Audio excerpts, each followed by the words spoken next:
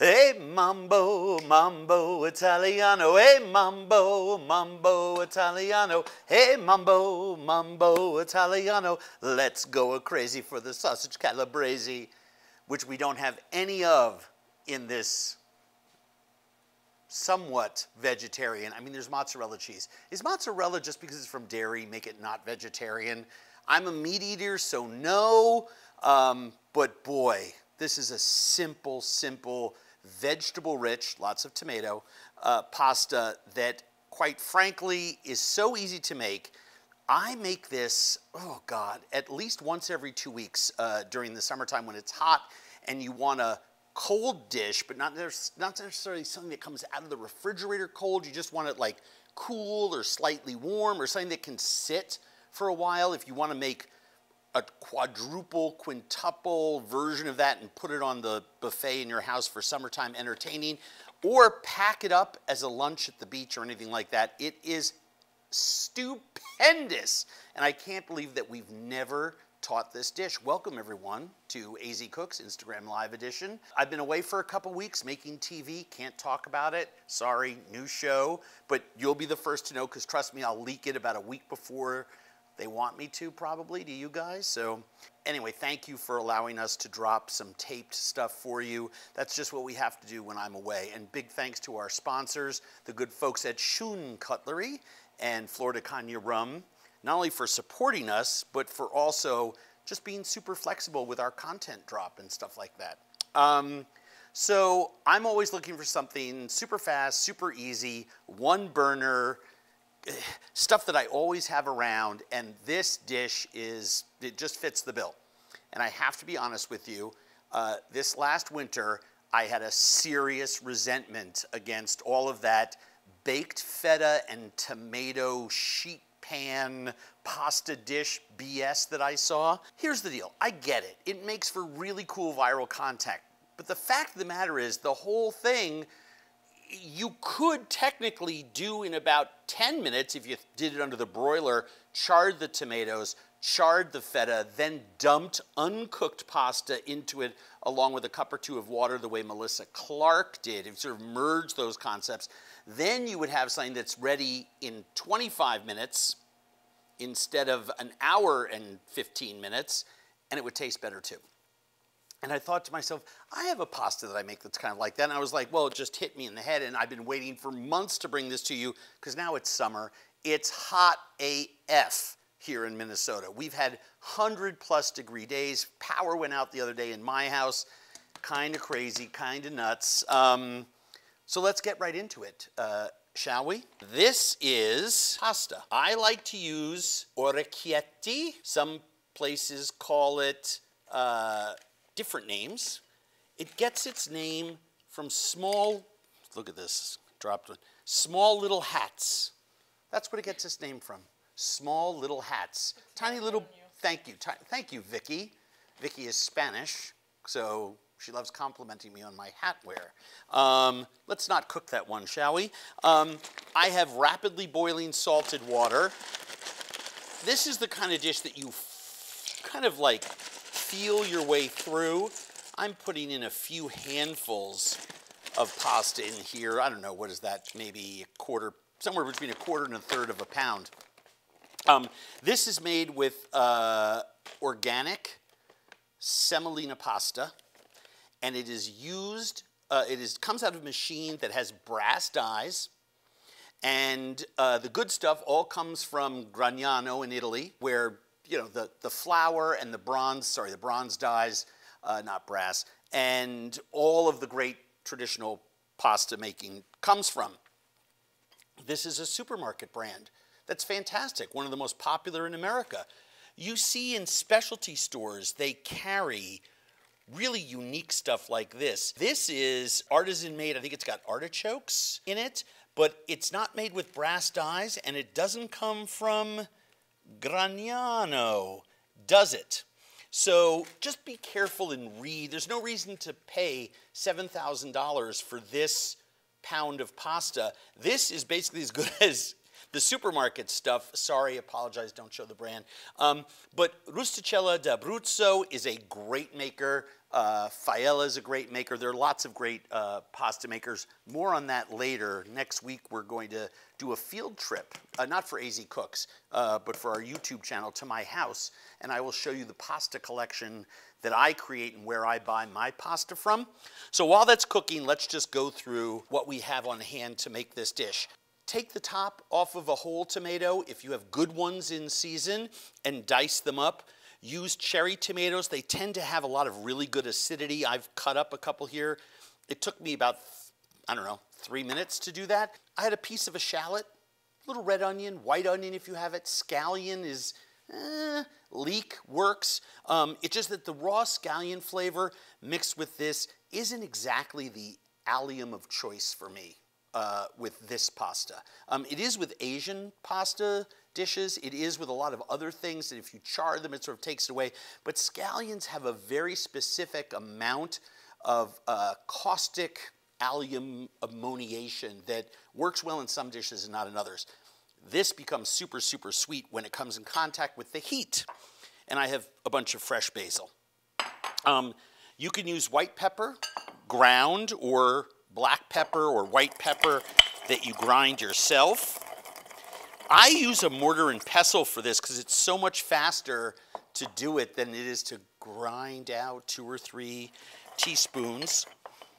And I, I really encourage you with whole seed pastas, just give them a little quick toast in a pan just to get them warm, bring out those flavors in it, and then just grind it up. It trebles, whoa, the flavor of that. A little bit of dried oregano, uh, mozzarella cheese. Here is a piece of balled mozzarella that we just pushed through. I mean, just pushed it through a box grater. You know, you don't have to like grate up and down. You just push it through those big holes. We also have these tiny little uh, mozzarella pearls. Um, there are a lot of different brands in supermarkets that are selling this product. It's fun. They're great to scatter on salads, but what's really fun about them is that you can just throw them in whole or just cut them in half so they melt easier because the mozzarella cheese is going to slightly melt, get a little bit soft. And why is it going to do that? Because we're going to pour a little bit of pasta water and the cooked pasta right on top of it. Can we use homemade pasta? Oh, absolutely, but please dry your pasta first. This is not a dish because you toss it very aggressively. Um, fresh pasta like uh, pappardelle or fettuccine or something like that is going to break up. If you're going to use uh, pasta that you make by hand, and there are lots of great people who make fantastic pasta. Um, my friend Linda Nicholson, Salty Seattle, at Salty Seattle, you should follow her if you like pasta, um, makes this all the time on her feed, at least I've seen it, and it's literally, it's a, you make the dough and you just one by one, it's just pushing your thumb on a board. That's all it is. It's so simple to make homemade orecchiette. Might be, I don't know, the simplest. Um, Linda does a lot of that kind of stuff. Joe Sasto, S-A-T-O, does a lot of that stuff. Um, Pasta Grannies. Uh, these are all Instagram accounts that I follow and just delight in the pasta dishes that they make. They really are um, head and shoulders above all the others. And they're very pasta focused. Uh, right? Um, there are restaurants that specialize in pasta around the United States. Uh, Sarah Grueneberg's uh, Monteverde being one of them. So if you like pasta, follow Sarah and Monteverde. Um, I know Chicago is just reopening. By the way, restaurants all over America are reopening. Congratulations, restaurants. Way to fucking hang in there. And by the way, feed the whole gosh darn country while you're getting kneecapped. I love you, restaurants and restaurant people. Um, I did. Um, I want to season the water till it tastes like seawater. You want it nice and salty. Why do you have to salt your water before adding the pasta? Because the pasta absorbs the salted water and it has more flavor within it right? It's like rubbing the cavity of a chicken with salt and pepper before you roast it. It actually turns into a liquid in the steam, right? Because salt, right, in the roasting a chicken in the oven, that's 30% humidity in your oven, breaks down and the salt goes into the bird, right? All right, let's see what we got here. Now this is an organic handmade pasta. There's an old piece that I didn't catch before. So you want to make sure to grab it at just the right point. Now, this dish gets tossed with the olive oil, and if you pour your water into a colander, you should collect some of the pasta water. You can always take a little bowl or cup, and right before you drain it, just dip your cup in, right? You just, you're gonna need a quarter cup, third of a cup, that's it. But the pasta water emulsifies with the olive oil and the juice from the tomatoes, right? So what we wanna do, we wanna put the hot pasta and the hot pasta water on top of the shit why am I swearing so much? You know why? Because I've been away from you for so long and I stomp around my own house just talking. I'm like Don Quixote, tilting at windmills and just swearing. Sorry, I'm from New York. Um, we want the hot ingredients to wilt these room temperature ingredients so that the juices from those tomatoes and the shallots, and I'm going to use a scooper here, right, this magic wand that cost me very little money uh, at one of our uh, Asian markets instead of the $75 it costs to buy the fancy pants version of it. And by the way, I've had this for I don't know, nine years. It's indestructible. I'm gonna scoop the pasta out, and because these orecchietti are, they're like little hats, little bowls, they're gonna carry enough water in there to build my quarter of a cup, third of a cup. I've done this a lot. And I encourage you to buy something like this. It's so much easier than draining hot handles and you're gonna burn yourself and then boiling water and all the rest of that. I'm gonna use a healthy pinch of oregano because I love that cooked oregano flavor. I'm going to put a little bit of salt in because I've seasoned the pasta, but I haven't seasoned this stuff. I, I just, you know, in the recipe I called for white pepper. I'm going to use a blend here. I'm going to use some black. I'm going to use some white. They both have much different flavors. Black pepper, the classic Tellicherry or Sarawak peppercorns have a much bolder, bigger flavor. And then I'm going to put the pasta in. Now I've taken those little pearls and cut them in half, and I grated a half a piece of mozzarella that I, fresh mozzarella that I had lying around, and that's going to melt. And we're going to toss it and serve it. Uh, let's see, I just, I may need to get a bowl. That's what I may need. Do you ever save the pasta water for other sauces? No, because when I make pasta, I use the pasta water for the pasta sauce. I don't use enriched water to make other sauces. Um, I enrich other water with the same things that are used to make the pasta, right? Slurries with flour or cornstarch or tapioca starch or potato starch or rice flour, right? So why, why save something that I can make whenever I need? So we have another question. Please fire away. That's why I'm here. Is this something that we can make ahead of time, or should this be made and served right away? Oh, brilliant. Don't know who asked that, but you're brilliant. Um, like I said at the top, this dish you can literally make in your kitchen and bring right to the table. You can let it sit for an hour and then toss it and serve it. You can put it in your kid's lunchbox. If you refrigerate it and then serve it again, the melted mozzarella is tough, the oil congeals, the basil gets broken. You don't want to do that. I have made this dish and then let it sit for an hour on the table, waiting for everyone to get their butts into their seats. And all you got to do is just give it a little toss with a couple spoons, it comes right back. Oh, this is going to be so good. Uh, basil. I'm going to take some of my basil and just tear it and let it wilt with the hot water and the cheese. So I'm going to have one basil flavor in there. And then at the end, I'm going to tear some fresh basil on top. Could you add some spinach?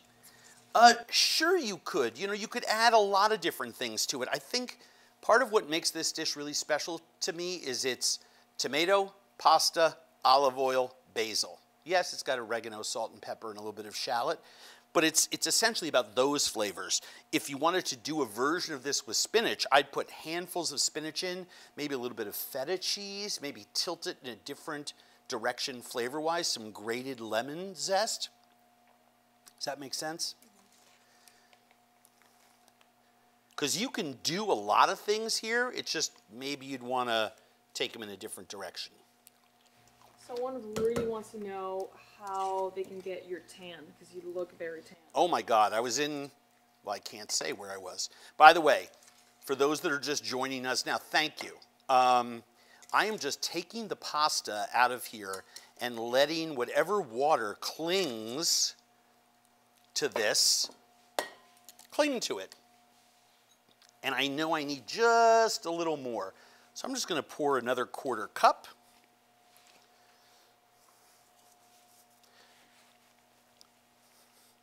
And we toss. One of the things that I like about this is the volume of ingredients that aren't pasta to pasta are one to one. So here I've made three or four portions and you could see the pasta melting in that, yet the temperature of this dish is not that great. You know, the temperature of this dish is probably only about 90 degrees right now. And what I want to do with it is just want to tear some fresh pasta onto there. Um, I love making sure to take a little tiny leaf and making sure that you have some of that. And then the really fun, well, I think it's fun, is just take some pasta curls.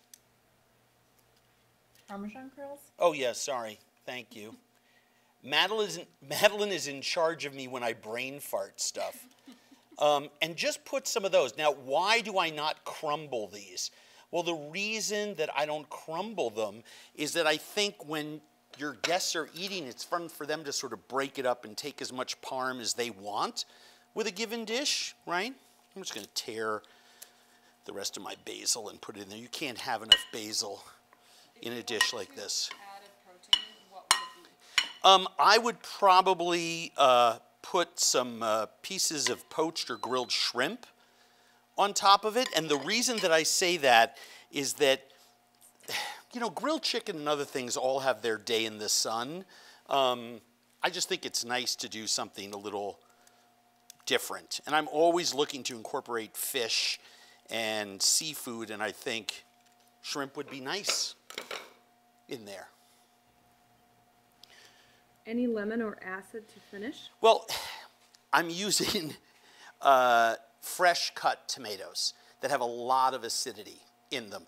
If you want to put a splash of vinegar, it's going to be a hugely dominant flavor, right? If you are going to do anything, maybe a little lemon zest or grapefruit zest, but I would tell you, taste this my way first because the tomatoes are going to add so much. You have to remember, there's as much tomato in there as there is pasta, and they wilt in a little bit of that hot water, just enough so that the shallots soften, the tomatoes soften, but they don't burst or bust. The mozzarella melts and goes into that holes. The sauce, the sauce here is just emulsified olive oil and pasta water. We have a question for Madeline. Mmm. Madeline, how does this taste the day after? Still good the next day? Oh my God, I know who that's from. They don't trust you, Andrew. Someone else who works in our office. Nope. They want to know if there's some going to be left over the next day. Um, here's the deal. If I have leftovers of this, of course I save it. I don't throw it out. It's just not as great the next day. Where can we find the full recipe?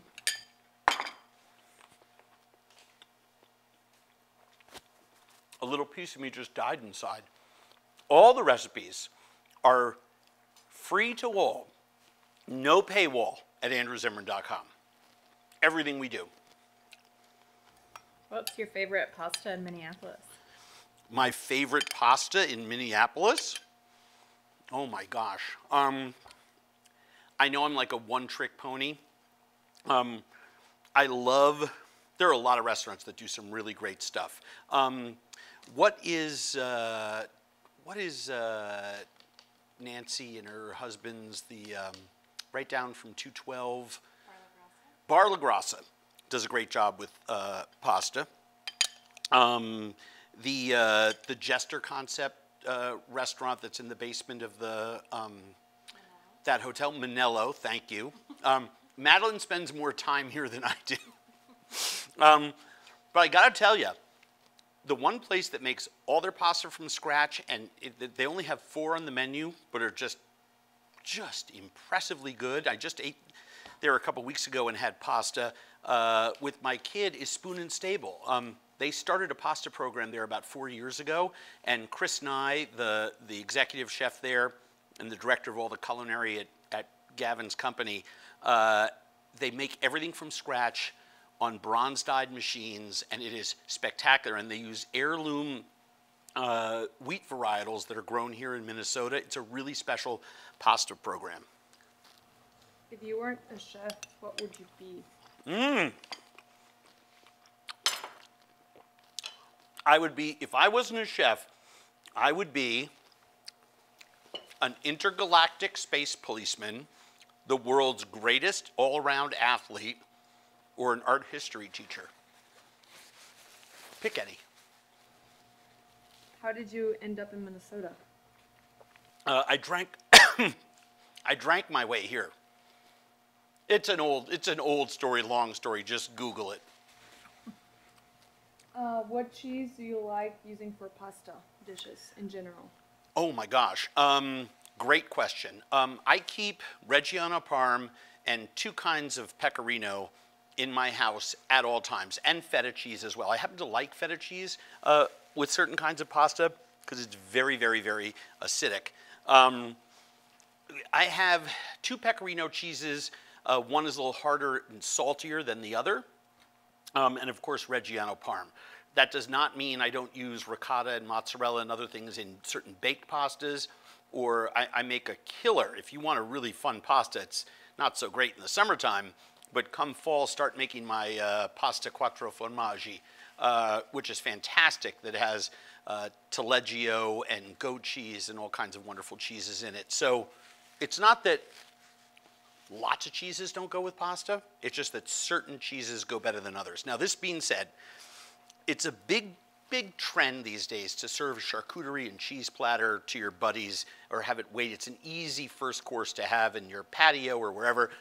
And my experience is that at parties that I throw, there's like these ends of four different cheeses that get left on the board, and there's always one, one cheese that no one likes, and they just leave it there. It's just sitting there. It's usually one that I like the most that's really strong and really stinky. And I just take those and I put them into a little cream in a saucepan and I take my immersion wand and I go with a little bit of salt and pepper and I put that over anything. It's a very adult sort of mac and cheese thing to do. Is a chunk of parm better than the parm already shredded? Yes. I, I like to roast my chickens with bones on them. I like to cook my chops with bones on them. I like to buy my cheese in chunks. I, the less handling, the better. I everyone's supermarket, there's a section in the vegetable area where they have these pre-diced containers of celery, carrot, and onion. I get it. People are time poor. But come on, if you love to cook, sit there and cut an onion, cut some celery, cut some carrot. That's my yoga. That's that's how I interact with the food. That's how I calm myself down at the end of the day. I'm not in a, in, in a speed race to like huck everything together. Plus, the stuff that someone else is chopping and dicing, is, it's like the difference between mincing your own anchovies and using anchovy paste from a tube. I mean, I have ancho- I don't have anchovies in little tins. I have whole fish in jars with heads and bones, salted, that I buy at gustiamo.com, shameless plug, that's where I buy a lot of my stuff.